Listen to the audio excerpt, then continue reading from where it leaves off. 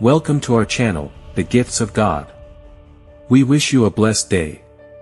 May God bless all who are watching this video. Father Jim Blount is contemplating a profound vision forecasting four impending disasters as well as the anticipated return of Jesus Christ. In his dream, he imagines a day full of mystery and dread, when the foundation of existence is about to be tested. He is both amazed and terrified at the thought of Jesus' impending return because he knows it will impact the very foundation and faith of humanity. Father Jim, with a heavy heart, reflects on the severity of the impending disasters that will befall humanity, leaving people shocked and skeptical. We hope you enjoy the video and subscribe to this YouTube channel to stay updated with the latest information. Join us and listen to this video until the last moment. Type Amen if you believe, God always blesses you. Many people have believed that the end of the world will come when Jesus returns at some point in history. This belief is found in many religions and in stories passed down through generations. They see Jesus' second coming as a significant, frightening, and promising event, full of mystery.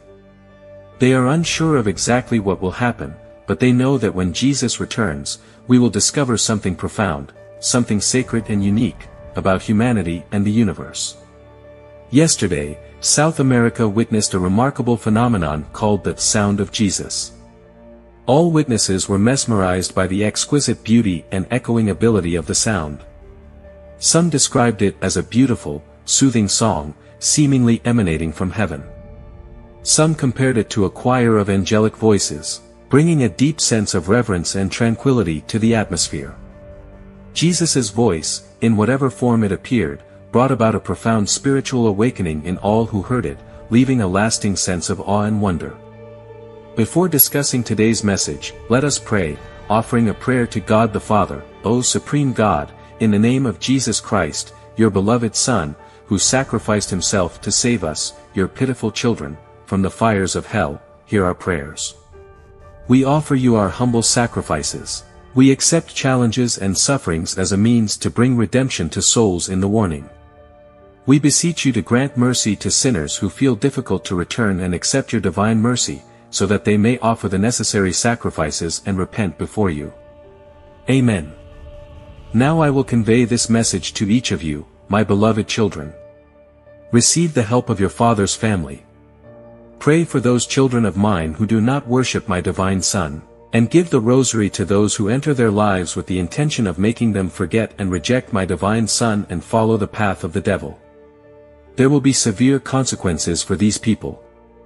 May 13th is the day Jesus will return. It is believed that Jesus' return will be a remarkable, life-changing, and anticipated event. That day will come when it seems like the heavens will part, revealing the majesty and glory of God. There will be an excitement and anticipation in the air as the scheduled time approaches. Clouds may become ominous, and the earth may tremble under the weight of this momentous occasion. There will be a supernatural power in the air, as if reality is about to change. An unspoken understanding that something magnificent is about to happen will unite people from all walks of life. The earth will experience a profound silence seemingly echoing through eternity as the moment draws near. This silence is called the Great Silence. And then, Jesus will return in glory in the heavenly light. He will shine brightly and unmistakably, illuminating the darkness with indescribable light. There will be a sense of satisfaction and tranquility beyond words when he arrives. The weary will find rest, the broken-hearted will find comfort, and the lost will find their way home in his presence. The day of Jesus' return will not just be a fleeting event, it will mark a significant change in the history of creation.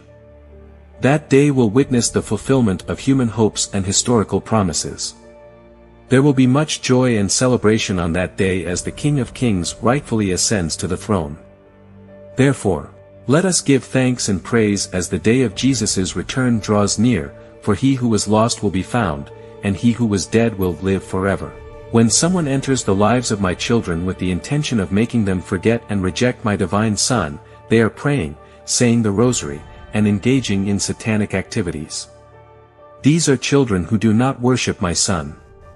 There will be severe consequences for these people. Grow in my womb, seek a place of reverence in my heart, and get to know my divine Son. I wish you well, I honor you, and I protect you with the hands of my mother. Revelation 22 verse 12 says, Behold, I am coming soon. I have my reward, and I will give to each person according to what they have done. The imminent return of Jesus Christ is deeply reminded in Revelation 22 verse 12. It is Jesus himself who announces his impending return in this line, reinforcing the belief that his second coming is the foundation of Christian eschatology. The idea of God's judgment is emphasized by the remark, My reward is with me, and I will repay each person according to what they have done.